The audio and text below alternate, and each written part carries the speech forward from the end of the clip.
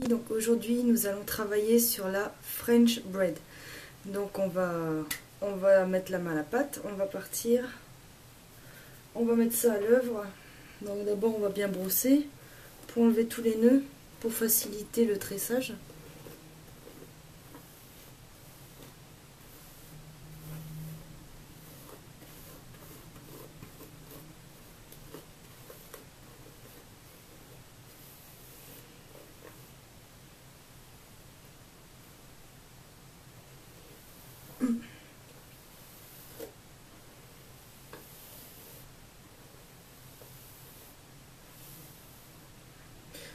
Dès qu'on a terminé, on va pouvoir y aller. Alors, je vais prendre une section dessus.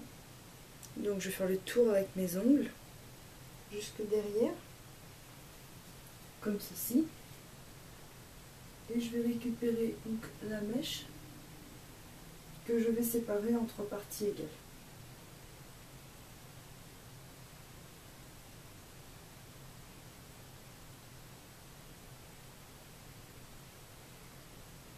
Donc on commence à tresser de façon normale une fois.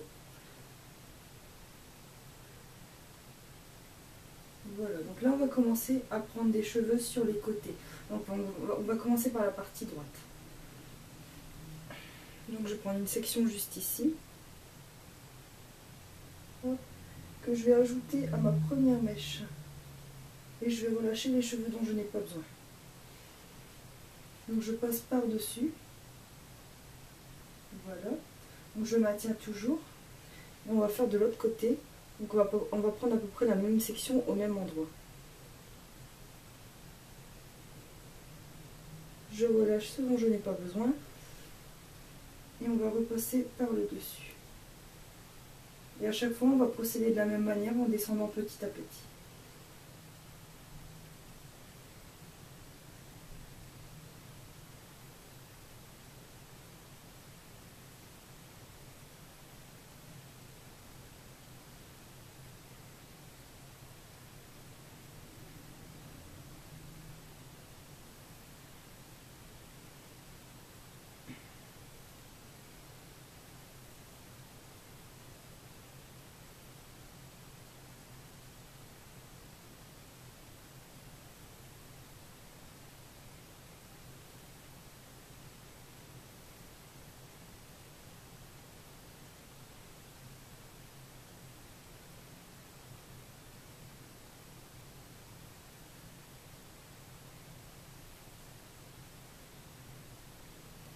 Ensuite, pour la dernière mèche, donc la dernière section en bas, on va la séparer en deux. Donc la partie droite va aller à droite. Et on va faire attention de bien ramasser le reste des cheveux pour ne pas en oublier.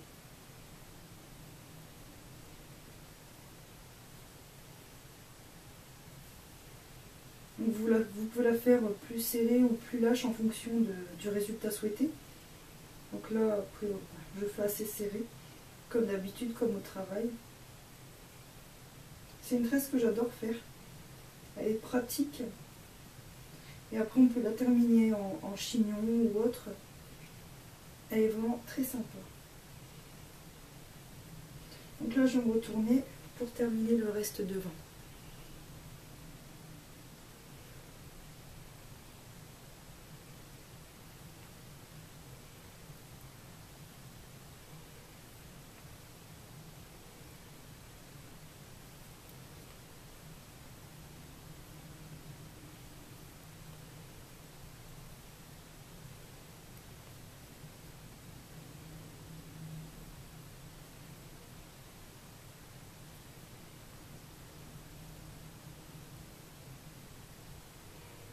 Ce que j'aime bien faire aussi quand je fais cette tresse, c'est mettre une petite goutte d'huile voilà, tout le long de la tresse. J'en applique partout. Pour, euh, bah, ça les rend un peu légèrement luisants, mais pas non plus gras euh, comme la graisse à frire. Et ça les nourrit euh, le temps qu'ils sont attachés. Voilà. Je prendre celui-là. Donc voilà, rien de plus simple. Au début, il faut prendre son temps pour bien prendre le rythme, bien euh, avoir la technique. Et après, ça va tout seul. Euh, on n'a plus besoin de miroir. Elle est vraiment pratique. Voilà.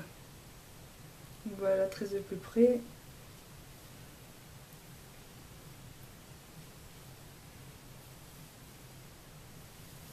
Voilà.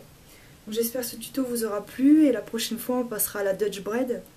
Donc déjà essayez de vous entraîner sur celle-ci. Et dès que vous aurez passé le cap, on passera donc à la Dutch. Je vous dis à bientôt, salut à la prochaine